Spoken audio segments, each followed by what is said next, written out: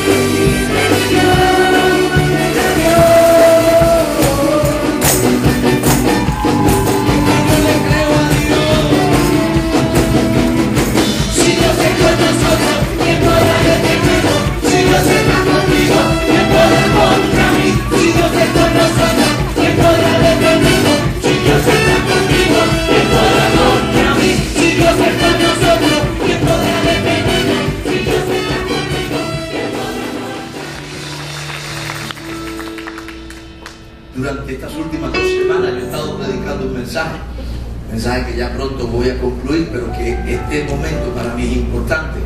Hemos despertado la conciencia de que Dios necesita que tú sueñes. ¿Dónde está la gente que está soñando en iglesia? Pregúntate al lado, ¿tú tienes sueños? Dile con ese, digas tienes sueños porque se me duerme ahora. Sueños, ilusiones, anhelos en tu corazón, deseo de conquistar. Usted sabe que dentro de usted hay semillas de grandeza. Tú sabes que tú no has visto todavía una cuarta parte de las cosas que Dios tiene preparadas para ti. Yo no sé si usted está movido, usted está lento hermano. Y yo que vengo confiado, que estoy que no me aguanto a mí mismo, hermano. Yo quiero decirle algo. El propósito de Dios es que tus sueños se hagan realidad. Que Dios va a hacer realidad tus sueños. No importa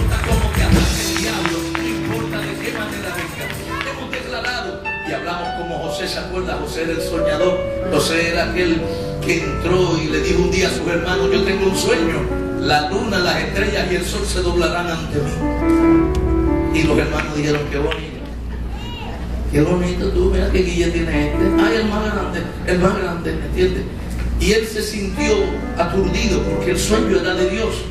Los sueños que son de Dios, de primera intención parecen imposibles, pero después no pueden despegarse de tu alma. Algo que te hace que tú sigas adelante a pesar de la adversidad, a pesar de que la gente no te crea, a pesar de que la gente se burle. Pero cuando soñamos y tenemos los sueños en nuestro corazón, tú levantas envidia en las personas. ¿Tú sabes por qué tú levantas envidia? Porque la gente son quedados. Usted conoce a gente que da, nadie mire para el ahora. Usted conoce gente que da. Los que dan son esa gente que por todo, cada vez que hay un problema dicen, no sí, no voy a pelear más, voy a dejarlo. Hay gente que cogió eh, eh, en la universidad el, el primer semestre, lo cogió como 18 veces más. Porque todo era me doy de baja, me doy de baja. ¿Sabes qué? Dios está buscando gente que siga hacia adelante. No, no, yo estoy hablando de la gente que va a seguir hacia adelante. Y tú sabes lo que Dios usa, te lo dije. Dios usa el problema. Dios usa la dificultad. Dios pone una circunstancia difícil porque los soñadores no pueden resistir un problema sin soñar en la salida. Dios usa tu calamidad para despertar tu capacidad de soñar. Dios usa el problema o la gente que está haciéndote cosas difíciles porque Dios sabe que tú no te ibas a quitar, que tú vas a seguir adelante. Dios sabía que tú ibas a seguir. ¿Dónde está la gente que va a seguir peleando? Dígale al que al lado que voy para adelante. ¿eh? Este era José. Él no le importaba lo que ocurriera. Él iba a seguir con su sueño. Él sabía que Dios lo había llamado a algo grande, aunque sus hermanos no lo entendieran, aunque hubiera gente con envidia, aunque hubiera gente peleando. ¿Sabe por qué a José le pasó eso? Porque el papá de él también soñaba. Ustedes tienen soñadores, padres soñadores, han tenido aquí gente aquí, gente que te ayudó en el camino, gente que usted ha tenido gente así. Yo tuve mucha gente en mi camino, pero en especial a mi abuelo, nos levantaba, que siempre me daba sueños, ilusiones, me decía, tú vas a lograr lo que sea, tú vas a poder, si, si te lo propones, lo vas a hacer. Y, y siempre me decía, él era cristiano, pon al Señor delante de tus sueños y vas a ver cómo la gloria de Dios va a cubrirte y va a la bendición. Jacob era el papá de José. Y Jacob estuvo claro en un momento dado de su vida. Jacob, usted sabe la historia, ¿verdad? Era un sinvergüenza, era un ladrón, era un tipo terrible, pero Dios tenía propósitos con ellos. Yo no sé cómo tú has venido a la iglesia, si has tenido muchos problemas, si la gente ha tenido batallas, si te han marcado, pero Dios tiene propósitos contigo. Y como Dios tiene propósitos contigo, te va a usar. Cuando Jacob engañó a su papá, que era Isaac, porque pidió la primogenitura, usted sabe la historia, no sé si se acuerda, su hermano Esaú le tocaba la primogenitura, pero él agarró la primogenitura y engañó a su papá porque su papá era ciego, su papá no veía. Jacob era lampiño, su hermano Esaú tenía ese hombre que tiene pelo que se hace hasta el gancho, se lo pone por fuera. ¿Usted nunca ha visto esa cosa? Y, cuando llegó, se puso la piel de una oveja por encima y le dijo: Papá, yo soy Esaú, úngeme. Y engañó al papá. Y el papá oró y le dijo: A ti te daré la primogenitura. ¿Cuántos son aquí los mayores en su casa? Los mejor, los mayor, los mayor, los mayor. En aquel tiempo, el 70% de la, de la herencia era tuya, el 30% era para los demás. Pero ahora No. era en aquel tiempo. Y, y era una bendición ser la primogenitura porque eran los que iban a recibir todas las cosas mejores. ¿Sabe lo que pasó? Cuando hora termina, a los 15 minutos llega su hermana Saúl y le dice, papá, bendíceme, dame la primogenitura. Y el papá le dijo, pero si yo lo acabo de hacer por ti. Él dijo, por mí no, yo estaba aquí. Me dijo, me engañó Jacob. Desde ese momento Jacob empezó a correr, porque su hermano dijo, donde te coja, te mato. Me has robado, me has engañado y has hecho cosas malas contra mí. Donde te coja, te mato. Y tuvo que correr y se quedó dormido en un lugar. ¿Alguien se acuerda de eso el domingo? ¿Alguien se acuerda? Y se quedó dormidito y durmió sobre una piedra. Voy a hacerte una pregunta. ¿Acaso tú puedes tener de almohada una piedra? ¿Sí o no? No, porque la piedra lo que habla ahí es del problema. La carga que tenía él sobre su mente y su corazón. Pero de momento Jacob soñó. Amén. Jacob soñó. ¿Usted se acuerda de la canción, verdad? Y era una escalera la que Jacob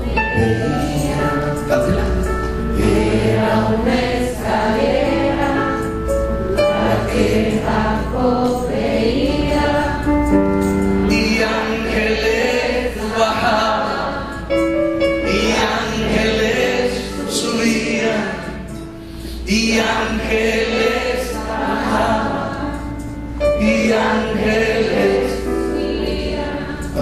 Mira al cielo en su sueño ve a Dios en la parte alta de la escalera y veía que ángeles bajaban y subían.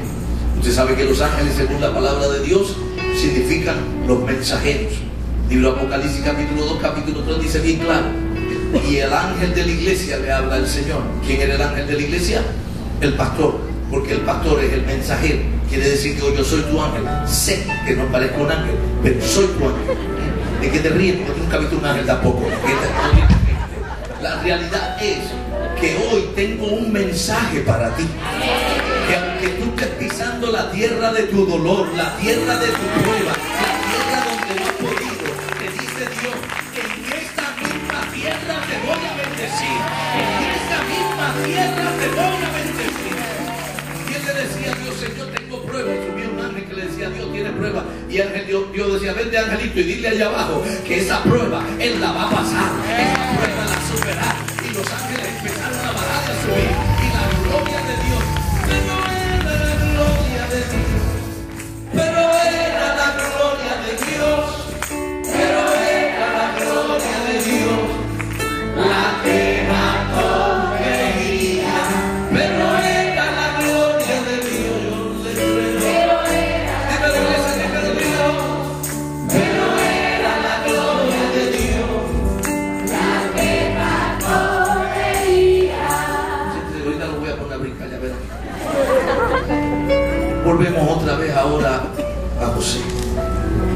Ya sabe que José tenía una línea de herencia de soñar porque su padre también soñó.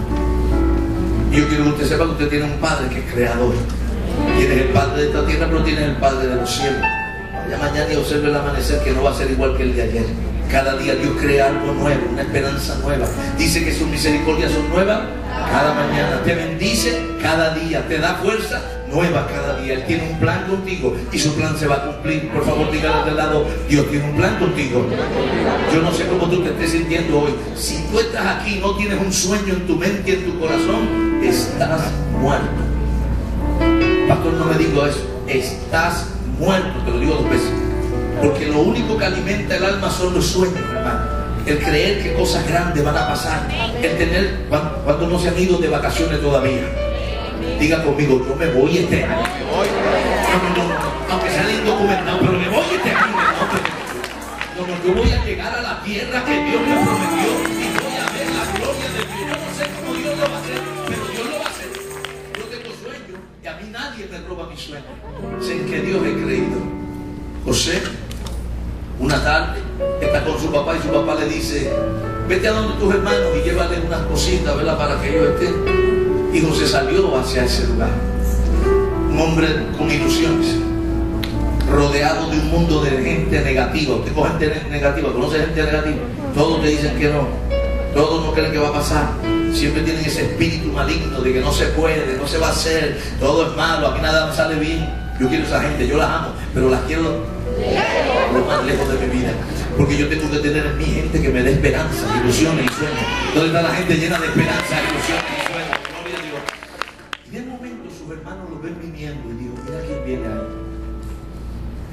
viene ahí. El soñador. Todos los que tienen sueño levantan la envidia. Porque la gente mala quiere que tú seas como él, aplantado y quedado que tú estés sin gracia y todos los que están sin gracia son unos desgraciados, desgraciados. Porque la gracia nos hace ser feliz en la peor calamidad. La gracia nos hace levantar las manos aunque tengamos dolor. La gracia nos hace que por eso fue que Samuel Hernández conquistó este país. Porque le enseñó a un país sin fe a levantar sus manos en la prueba. Y levantó las manos. Todo el mundo levantó, hasta los gobernadores y todo el mundo levantaba las manos. Pero cuando sus hermanos lo vieron, hicieron algo vamos a destruirlo. Tengo que decirte algo. Hay gente que te quiere daño. Pastor, no me diga eso, pero digo dos veces. Hay gente que te quiere daño. Hay gente que está cerca de ti y oye lambones que son, ¿te lo ves? Ponle lobo. Ponle lobo. La Biblia dice, tenga cuidado con esto, guarden su mente en tu corazón. Esos que adulan tienden lazos a tus pies. Cuidado con esa gente, no, que tú eres el mejor, no, que tú eres el más bravo sacude, ah, viento de agua, llévatelo. Yo sé que Dios tiene un plan conmigo. Y José iba cantando y su hermano le dijeron, hola José, ven acá. Para acá. Y miren lo que pasó. Vaya conmigo al libro de Génesis capítulo 37, el verso 24. Génesis 37, 24. Y me tomaron y le echaron en la cisterna, pero la cisterna estaba vacía, no había en ella agua. ¿Dónde lo echaron? ¿Dónde le echaron fue? De lado, la cisterna no es mi final. No, no, no, tócame a alguien ahora y dile, ahora no es mi final. Yo no me voy a quedar en la cisterna. Esta crisis no me va a vencer a mí. Este problema que yo estoy viviendo no me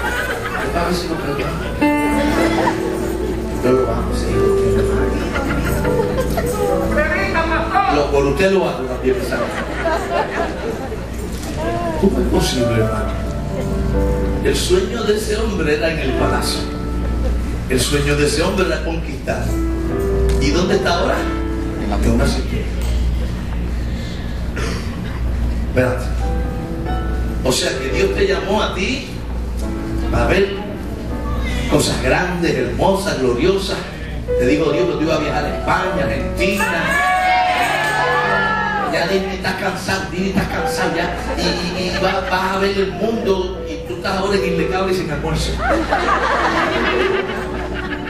¿Qué pasó? ¿Qué ocurrió? Qué tremendo cuando en nuestros sueños el sueño se mantiene vivo a pesar de la realidad que estamos viviendo. Amén, amén. La realidad que vivimos es dentro de una gran crisis. El sueño que está dentro de nosotros es en el palacio de Dios.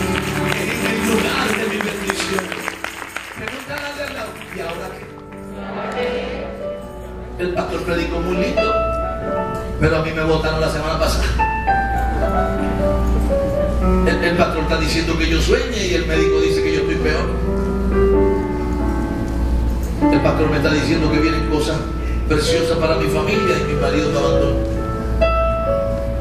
¿Cómo choca la realidad con el sueño y la expectativa de lo que Dios tiene planeado?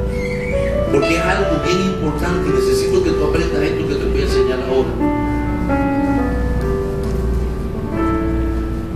Realidad, cuando es movida por Dios, va a pasar procesos muy difíciles si Dios le hubiera mostrado a ustedes lo que iban a pasar por alcanzar lo que van a alcanzar, no quedaría nadie en la iglesia. Si Dios te hubiera revelado que tú ibas a vivir todo este dolor recibir la bendición más grande que jamás ibas a recibir y recibir en tu vida, tú ni yo hubiéramos tenido fuerza. Si Dios me llega a revelar a mí que por ser pastor yo iba a tener que sufrir tanto, yo me hubiera quedado de músico y me hubiera quedado tocando en la- en la tienda de música que yo tenía o dando clases de piano. Pero, pero pagar este precio tan grande. La realidad de una cisterna vacía y seca y sola. Y gente, tú oyéndola arriba, ah, está muerto. Eso no sirve. ¿Dónde está el soñador? ¿Dónde está el soñadorcito ese?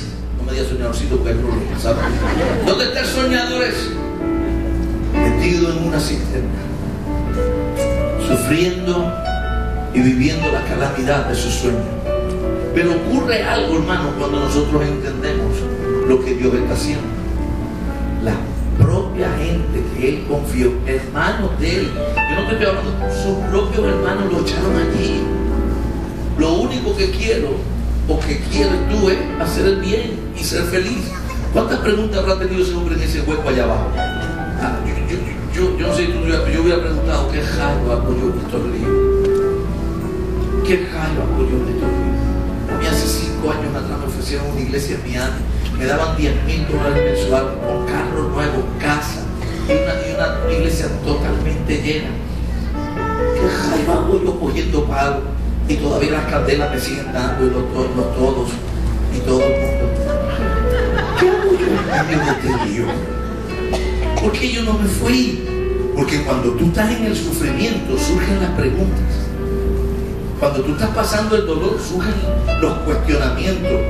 Y yo sé que tú te has cuestionado, pero ¿por qué yo permití que pasara esto en mi casa? ¿Por qué yo estoy sola? Yo, yo pude haber hecho muchas cosas que no hice. Si yo hubiera actuado de esta manera, porque cuando uno entra en la cisterna, te vas a encontrar a ti mismo. Y vas a tener que enfrentarte a tus propias realidades. Y es ese momento donde solamente te separa Dios y su presencia. Nadie te va a acompañar. Y aunque haya gente buena que te ame a tu lado, no te pueden ayudar. ¿Sabes por qué? Porque su mente está en otro lugar. Ellos no pueden entender el dolor que tú estás pasando. Nadie puede comprender el sufrimiento que tú estás viviendo. Y vas a tener que pagar un precio. Ese es el lugar de tu cisterna. Yo quiero decirte que la crisis que hoy tú estás viviendo no es el final tuyo. Algo Dios está pasando. Estoy hablando de la gente que está pasando crisis. Hay gente aquí pasando crisis. Levántame la mano, no tengas miedo. Yo también estoy pasando crisis. Yo quiero decirte a ti que hay un propósito de Dios. Pero ojo, miren las cosas que pasan en la cisterna. Primera de Pedro, capítulo 4, verso 14. Escuche bien. Si usted está sufriendo esto, sufralo con vos. Dice así. Si sois vituperados por el nombre de Cristo, sois bienaventurados. Amén. Porque el glorioso Espíritu de Dios reposa sobre vosotros. Ciertamente, de parte de ellos, Él es blasfemado, pero por vosotros es glorificado. Párese firme. En medio de su prueba, párese firme. Mírate lado, dile, párate firme. Aunque hablen y digan de ti, levanta tu cabeza Porque el nombre de Dios será glorificado mientras te vituperan y digan lo que digan y hablen lo que hablen. Pero no te va a ayudar el hombre, te va a ayudar Dios. No te va a dar consuelo el hombre, te lo va a dar Dios. El descanso no puede venir de otra persona, el descanso viene de Dios. Yo necesito que tú te ubiques conmigo ahora, en tu propia cisterna. No te puedes meter en la mía, porque en la mía no cabe más nadie. En tu propia cisterna, en tu propio dolor, en tu propio sufrimiento, en la angustia de tu alma, ahí ubícate conmigo. Que yo necesito que tú entiendas lo que Dios quiere hacer en este tiempo. Nunca, por favor diga la palabra conmigo. Nunca confundas el proceso con el final. Nunca entienda que lo que estás viviendo son momentos difíciles, pero no es el lugar final de Dios. El lugar del propósito de Dios viene pronto. La bendición viene, alguien diga conmigo, viene pronto. Solo tiene que pasar el tiempo de la cisterna y estar allí solito y aguardar. Si hay que llorar, pues llora. Tal vez tú estás ahora mismo en esta cisterna. Pues recuerda, recuerda, este no es el final. Por favor, dígalo conmigo. Este no es el final. Cuando Dios revela un final, te dije, Él no revela el proceso. Porque si te lo hubieras revelado, tú hubieras huido. Pero es allí, en ese lugar. Y a hablarte con mi alma porque me estoy predicando a mí mismo. Hay poder en la cisterna. Hay poder en ese lugar. Hay poder y hay autoridad para los que aman a Dios. Hay palabra de Dios. Usted diga conmigo, hay palabra de Dios. Yo he oído a Dios en mi mayor oscuridad. Yo he oído su voz cuando nadie me ama.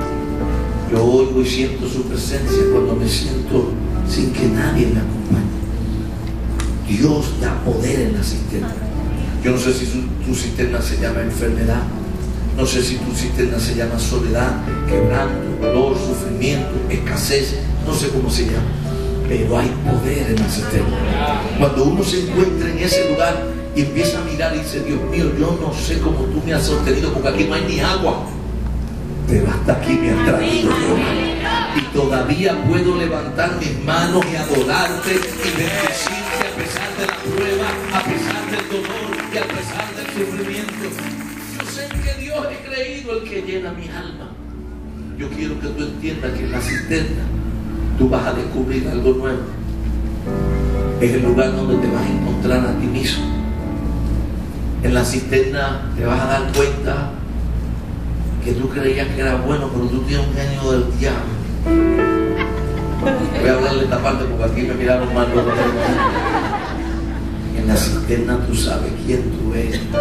Ahí que te sale la rabia. ¿Alguien le ha salido la rabia en la prueba que ha vivido? ¿Alguien le levante la mano?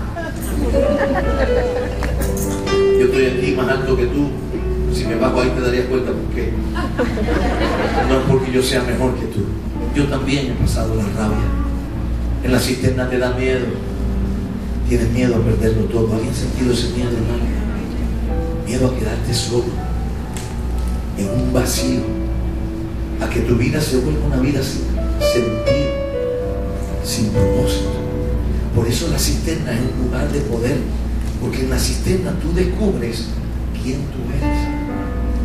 José estaba allí, óigame, y la gente arriba vacilando, los hermanos. Éralo el soñador que sueña ahora. Que diga ahora que las estrellas y la luna y todo el mundo. Y José oyendo eso. Y en su oración yo me imagino, Dios, ayúdame, Señor. Necesito que me dé fortaleza, Dios. Necesito que abras mi camino, Señor. Yo puedo preguntarle otra vez, ¿hay alguien aquí dentro de una cisterna ahora?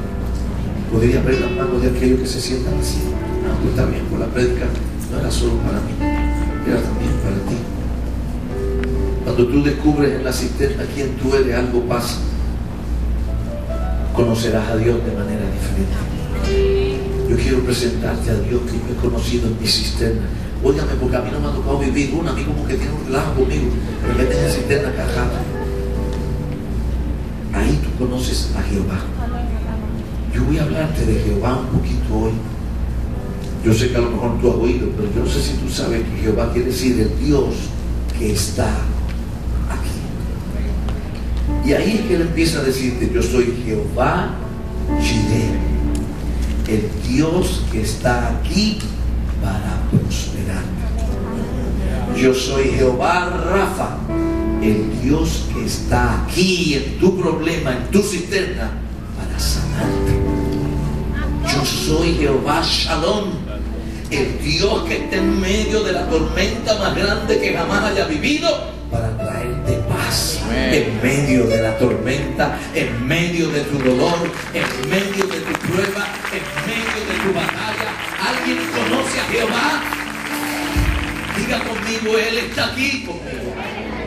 Sentí en un momento que no voy a poder seguir. Sentí en un momento que, que los vientos eran demasiado de fuerte. Pero Él me mostró que estaba allí. Y que me iba a fortalecer. Y en la cisterna comenzó a darme palabras.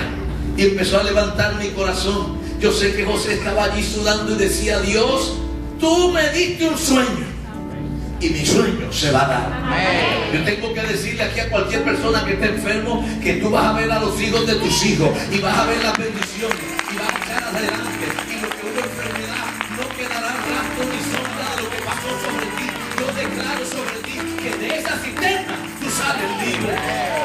Yo te declaro hoy en el nombre de Jesús sirvo te suplirá, te bendecirá, te abrirá puertas, te sacará del dolor, te levantará a un lugar más alto y será bendecido. ¿Alguien quisiera saber cómo se sale de la cisterna? Yo salí desde el viernes aquí. Yo dije, ah, rapidito, yo sé. Pero cuando uno es experto en cisterna, ya va aprendiendo. Busque conmigo Génesis 37, el verso 25 y 26, y aquí viene la revelación. Tranquilo, mundo. 25 y 26. Mira lo que dice aquí. Y se sentaron a comer pan, y alzando los ojos miraron, y he aquí una compañía de ismaelitas que venían de Galaad, y sus camellos traían aromas, bálsamo y mirra, e iban a llevarlo a Egipto. Los hermanos se sientan, oye, tú en la cisterna y aquella gente haciendo pares. ¿Te acuerdas tanta gente que tú ayudaste? Y el día de tu dolor, ninguno estaba contigo. Ellos haciendo pares. Ellos gozándose por allá abajo. A lo mejor hasta hablando de ti. A la misma gente que tú le diste la mano, que los levantaste y que los ayudaste. A la misma gente que tú le, le diste fortaleza, hablando de ti. Y tú oyéndolo en tu sistema. Pero sabes que de momento, porque Jehová estaba en la cisterna, viene una gente que son comerciantes, de esos que, que le venden una nevera esquimal, ¿sabes cuáles son? y traían mirra y traían un aceite y traían perfume. Y oiga lo que pasó. Pastor, el próximo verso. Entonces Judá dijo a sus hermanos, ¿qué provecho hay en que matemos a nuestro hermano y encubramos su muerte? ¿Qué dijo Judá? Sacar al, al brother de. Vamos a levantarlo de esa prueba. Vamos a hacer una cosa. Como ustedes son bien avariciosos y lo que les gusta es el billete, vamos a venderlo. Lo vendemos como pan caliente y con mantequilla. Y usted va a ver que se va rápido. Pero ¿quién dijo eso? ¿Quién dijo eso? Yo no sé si tú sabes lo que te voy a explicar ahora. Pero la palabra Judá quiere decir alabanzas. La única manera que tú puedes salir de su cisterna es. Dándole gloria al Rey. Porque Dios, que Dios trajera en ese mismo momento unos comerciantes. Porque Dios sabía que los hermanos lo que les importaba era el billete. ¿Saben qué? Te digo esto y recíbelo en el nombre de Jesús. Que se preparen tus enemigos. Porque lo que viene de parte de Dios es un movimiento de poder y de autoridad. Yo te digo a ti hoy, no termine este año sin que tú veas la justicia de Dios sobre tu vida. Guárdalo en tu corazón y en tu mente. Yo ya yo perdoné a todo el mundo y bendiga a todo el mundo y, y traté y ya di gloria a Dios. Limpié mi corazón y estoy listo. Yo salí de mi cisterna, pero salí alabando, adorando. Salí clamando a Dios. Pastor, ¿fue difícil? Sí, fue difícil. Claro que es difícil, especialmente cuando te vituperan, cuando dicen cosas de ti, cuando tú sabes que tú has dado tu vida por el Evangelio. Son 50 años sirviendo a Dios, hermano. No son dos días. Y mis años son mi fruto. Y mi fruto no me lo puede robar nadie. Tú eres parte de los frutos. ¿Y sabes qué? Tú que estás en tu cisterna y en tu dolor, yo te quiero lo que tú has sembrado, tú lo vas a cosechar. A pesar de que no lo hayan visto, Dios te va a levantar y Dios te va a dar cosas nuevas y te va a dar tus sueños y va a bendecir tu vida. Pero hay que hacer algo, iglesia. Hay un problema, dile al de lado, hay un problema. Hay que alabar a Dios. Hay que alabar a Dios. Hay que empezar a adorar a Dios en el dolor. Hay que empezar a glorificar a Dios en la cisterna. Hay que empezar a decir, Dios, estoy sano en la enfermedad. Hay que empezar a proclamar, soy bendecido,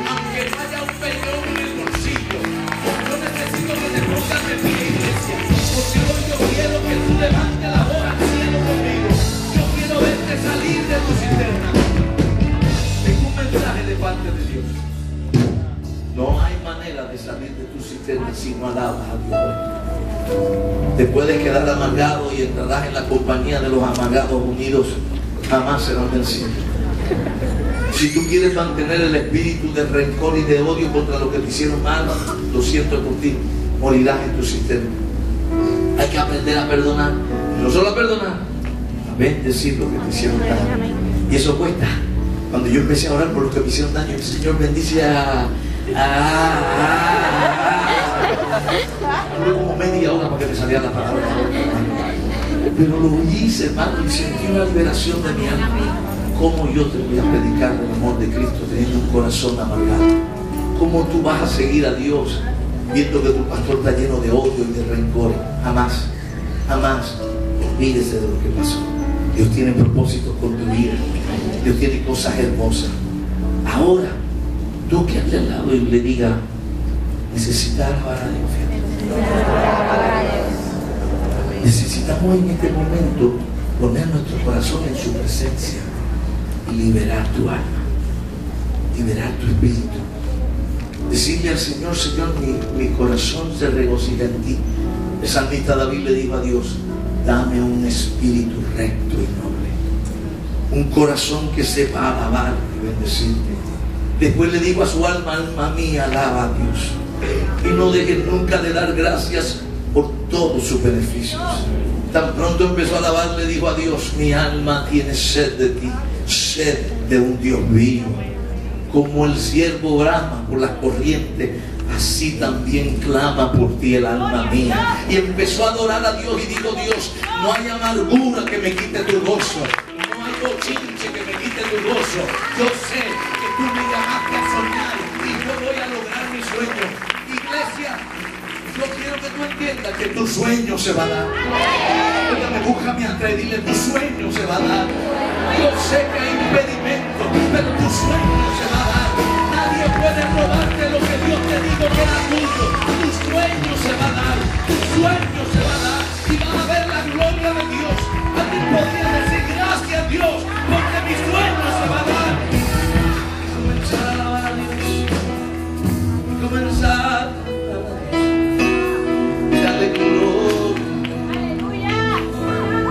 Y darle gloria. Comenzar a alabar a Dios.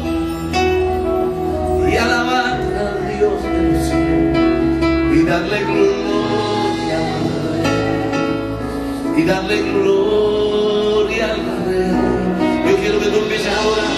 Mi tan sola, vénganse para acá, claro empieces a decir a Dios, gracias Dios, porque a pesar de la prueba, tú me has sostenido. Gracias Dios, porque a pesar de que he vivido escasez, tú me has levantado. Gracias Dios, porque a pesar de lo que dijo el médico, yo estoy de pie todavía y tengo mis sueños vivos. Gracias Dios, porque no hay diablo que se pueda robar lo que Dios a mí me dijo. Yo voy a ver mis sueños, yo voy a ver mis sueños,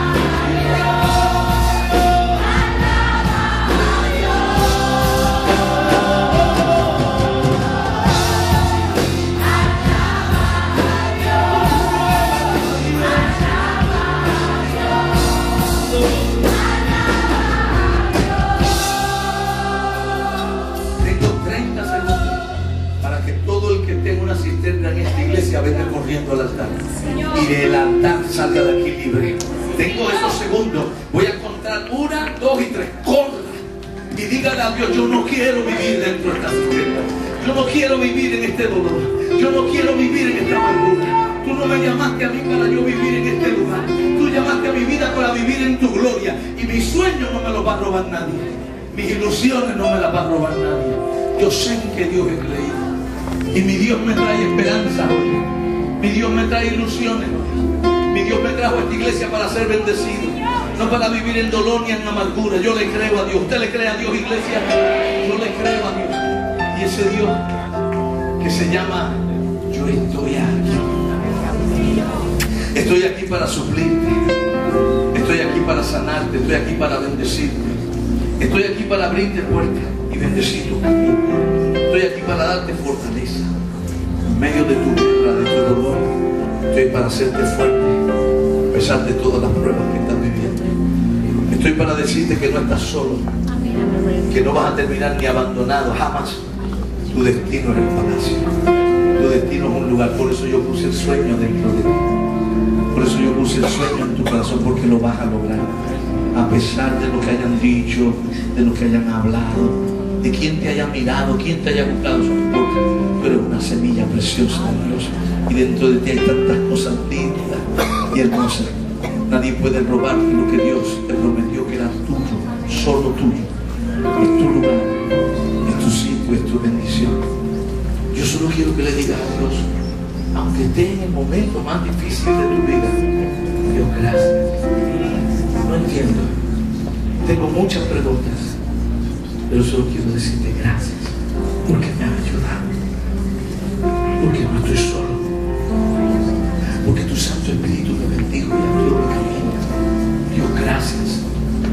Porque sé que tu propósito se cumplirá en mí. Y yo veré tu gloria. Veré tu bendición. Yo sé que estás ahí. Y siento tu presencia, papá. Santo Espíritu de Dios. Y se sana. Oh Dios de los cielos que estás en este lugar para bendecir. Arropa mi iglesia. Gracias por lo que viví esta semana, porque por lo que viví tuve palabras para este pueblo hermoso. Ellos salen de su cisterna. Ellos salen de sus amarguras, de sus dolores, donde los quisieron meter hoy se declaran libres, libres. Diga conmigo, soy libre, soy libre, libre, libre, libre, libre. Nada nada va a quitar mi bendición.